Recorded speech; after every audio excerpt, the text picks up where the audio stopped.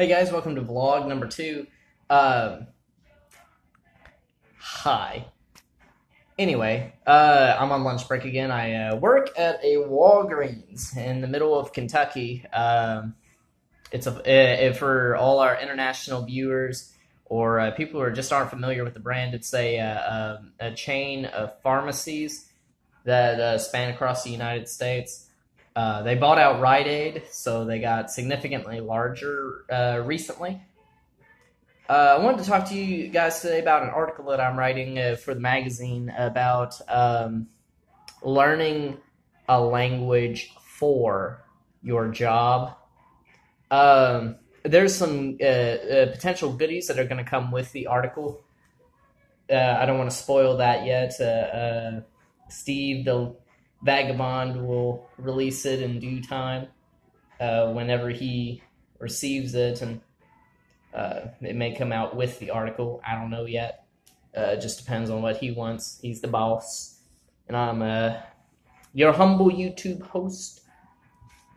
Anyway, I feel it is incredibly important to learn a language uh, for the job that you are learn that you are uh, doing if that job require if that job involves speaking with people who don't have English as a second language, um, all the time I'll get customers who are so weird. They they talk about they complain the fact that the pen pad has options for uh, both English, French, and Spanish, and a few of them insist that it shouldn't have the French or Spanish options on there.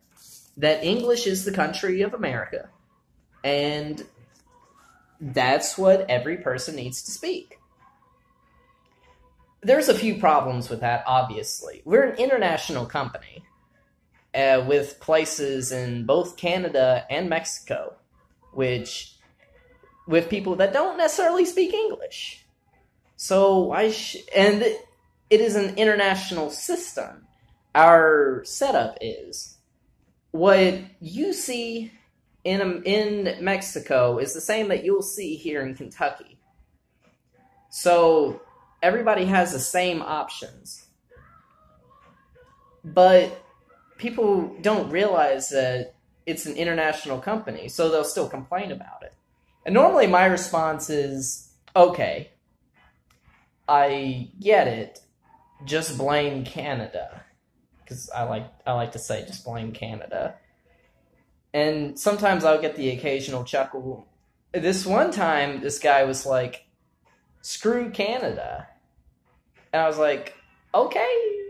There's there's nothing really to say. Whenever you're a cashier for a company, you're kind of held hostage by whomever you're speaking with at the time uh, not to go on a tangent, but yesterday this uh, guy was talking about 1930s movies with me uh, uh, while I was trying to get back to work on the project I was working on for uh, uh, for Halloween, and I was like, "Okay, just let me know if you ever figure out the actor that you wanted to talk about."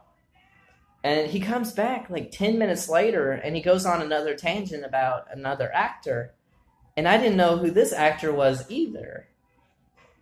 And I was like, okay, but it, it's really, it, it, you're forced to have conversation with these individuals, but it's also the other way around. Take, for instance, a person who doesn't speak any English at all. Uh, they come in, they're forced to interact with you in order to get what they need, which they may need whenever you come to the store to buy medicine or food, you, it's not just typically a want. You need medicine, you need food, you need basic toiletries, you need shampoo, you need conditioner, you need deodorant. Um, and of course, there are going to be several wants as well. But a lot of the time, you're getting stuff that you came to the store with a specific purpose in mind, something you needed for your household. And if you don't speak English as your first language, you are held hostage by the cashier. And you are forced to interact with them in such a way that you need to know. I mean, that, that, that you you're going to have to have some form of English to and, an understanding of English, whether it be the currency or very basic phrases, in order to get what you want or need. And the, how the cashier can help, and what I've done for the past uh, uh, three or four years is that I've been steadily learning and improving on my language abilities uh, starting with Spanish because we have a very high influx of, of Hispanic speakers in uh, in, in, in Kentucky. Uh, over the uh, over the past few years, like the population has really exploded uh, because it's uh, actually I don't know why we have so many immigrants here. It's it's Kentucky. It's a pretty cheap cheap place to live, so I can understand that. Uh, people may settle here because it's a lot cheaper. A, a, few, whenever I worked at Walmart at the service desk, we'd have uh, Spanish speakers and French speakers send money. Uh, well, not just not just those two languages, but like a number of immigrants would come in and then send money back home. They probably make a lot more here. They uh, they don't pay as much in utilities, rent, etc. And then they send the money back home uh, to their families who they hope to bring over here. And those people at the service desk had to have a few basic phrases at least memorized in order to send money. While working in the pharmacy area, I've had to translate a couple times for Hispanic customers who uh, uh, uh, I've I've had to, two instances come to mind uh, both times, the two individuals didn't speak any English, and they needed explanations given to them about their medicines and the reason. And one time, the reason why we didn't have uh, their medicine. And being the only Spanish speaker uh, or any amount of Spanish at all uh, uh, spoken at the pharmacy, I'm of course need to translate rather than trying to force them to learn our language, we because English takes a while to learn. It's not an easy language by any means or stretch of the imagination. Uh, in fact, it it can a, a, few estimates report that it can take up to four to five years for you to uh, uh to master the language through immersion. Uh, if you are uh, uh, if you speak like you know something different uh, from English, something like radically different, like Arabic, uh, um, any number of the African languages, uh, Chinese, uh, any number of the Southeast Asian languages. Those languages are so radically different that when we take a look, when the um, CIA put together the list of languages that were most difficult for English users to learn, those were at the top of the list. Those were at the category five. Those were the most difficult languages. We flip that around. Those are going to be the uh, the lang- the the people who have the most difficulty learning our language just as well. And my hat really goes off to people who can learn a little bit of those languages to potentially help customers. I have this uh, one girl in the pharmacy I work with who speaks some Russian uh, she started learning Russian because she thought the language was really cool. And thus, she's able to help others in Russian if it ever comes by. Now, I don't know how useful that it can be because it probably doesn't happen very often. But I've actually met a Russian person in the store who spoke very little English before. So if he had needed medicine and Katie happened to be there, that's the perfect opportunity to use that language skill. I feel it is incredibly important to be the very best customer service that you can be to the people that you are getting involved with.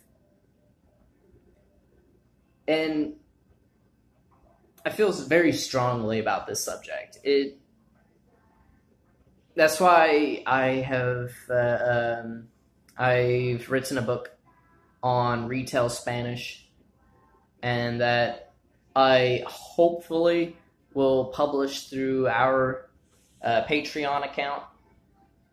I uh, I want to give you guys the resources that you need to learn languages for the jobs that you have. I feel very strongly about that. I know, like, you can't just learn a language overnight. Uh, it can take up to uh, up to half a year's study to become fluent in Spanish, and that's through mm, a lot more effort than uh, you would be uh, needing otherwise. You, um, I'm sorry, that didn't make any sense. My bad. I'm, uh, I don't have a script. I, I rarely script these videos, and I, if for those who have uh, watched this to the very end, I greatly appreciate you. Um, I don't have a lot of time left because I am on a lunch break, and I've got couple slices of pie next to me that uh, I want to eat because I'm starving. But I wanted to get this uh, the the vlog done for the day. I want to uh, do this daily for you guys. I want to uh, uh, share silly linguistics journey with you. I've talked a lot more with uh, Steve the Vagabond recently than I ever have before, and he's a great guy. He's just so passionate about sharing what he has with everybody. Uh, the Patreon just has so much in it that could be potentially useful to just about anybody, and I hope to contribute some to that. Um, I'm hosting the podcast. I'm gonna uh, direct a few episodes uh, on my upcoming off week, and of course, you can always uh, uh follow us on our blog online. And uh, if you want to learn more and hear more from us, just please uh, subscribe to our channel. I apologize to the people who were confused yesterday. It was named Nebula ad nauseum for a bit but I figured out how to change it to silly linguistics. And uh, please like and share our channel to your friends and anybody who might be interested in learning more about languages. I know I went off on a tangent there, but I really do have to go. I uh, appreciate it. Remember, like, subscribe, join our notification squad in the uh, in the subscription service below. And uh, thank you very much. I will see you tomorrow.